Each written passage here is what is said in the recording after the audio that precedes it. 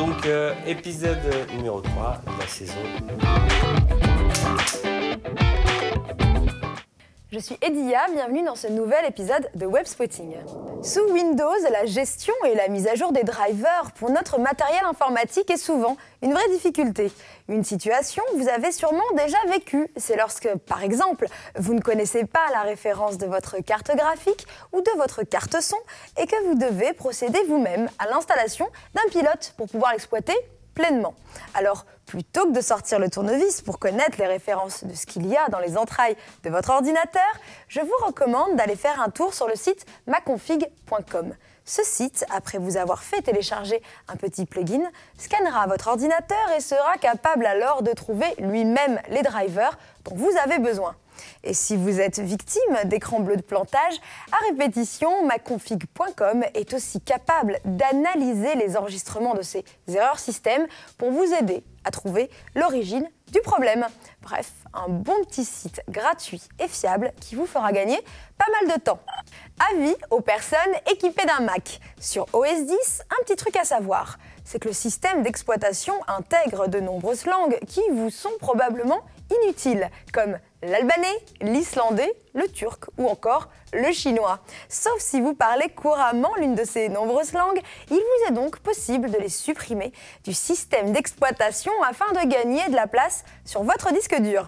Pour réussir cette prouesse technique, pas besoin d'être un grand bidouilleur. Il suffit de télécharger et d'installer un petit logiciel qui s'appelle Monolingual et qui permet de supprimer plusieurs choses comme les langues ou les claviers étrangers en une seule fois.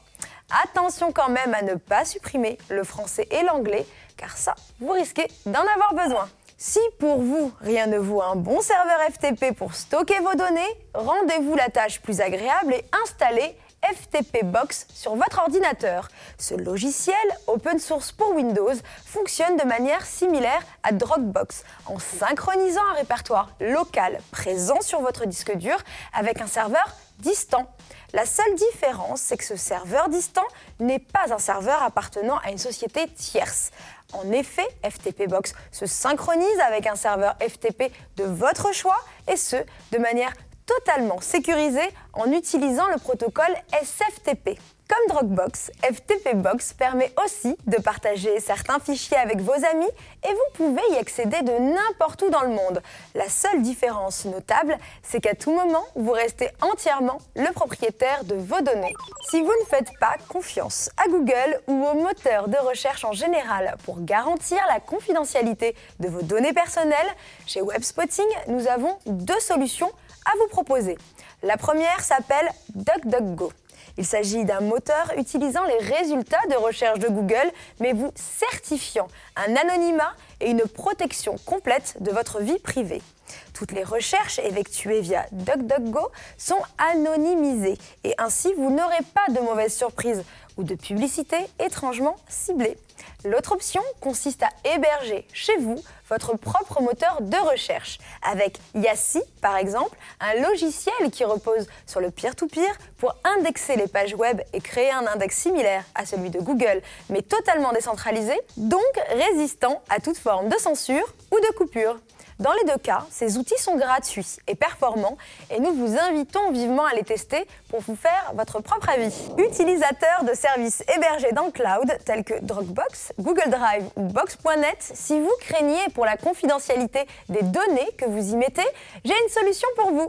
En effet, héberger ces fichiers chez un tiers, même de confiance, peut donner quelques boutons, car au final, on ne peut prévoir si ces données seront un jour volées par un hacker, consultées par un gouvernement ou rendues publiques suite à une négligence ou à un souci technique.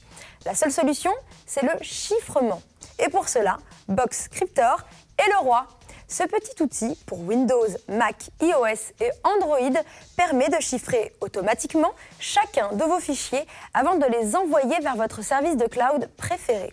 Rien de compliqué, l'outil est simple à prendre en main et vous permettra d'éviter la catastrophe le jour où votre cyber vendredi 13 arrivera. Si, comme moi, vous êtes né au siècle dernier et que vous possédez une grosse collection de CD, c'est peut-être le moment de les riper, vous ne trouvez pas?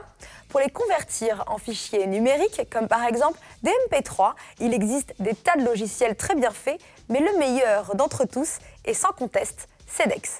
Ce logiciel fonctionne uniquement sous Windows et propose, en plus de la transformation de vos CD en MP3 à AC WMA, des tas d'options comme la récupération automatique du nom de l'album et de ses titres sur une base de données libre, la possibilité de choisir la nomenclature de votre choix pour le nommage des fichiers et bien sûr de multiples réglages pour la compression et les formats audio.